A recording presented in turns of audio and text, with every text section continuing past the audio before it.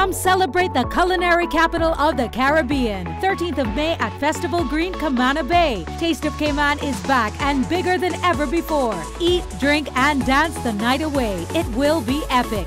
Get your tickets today.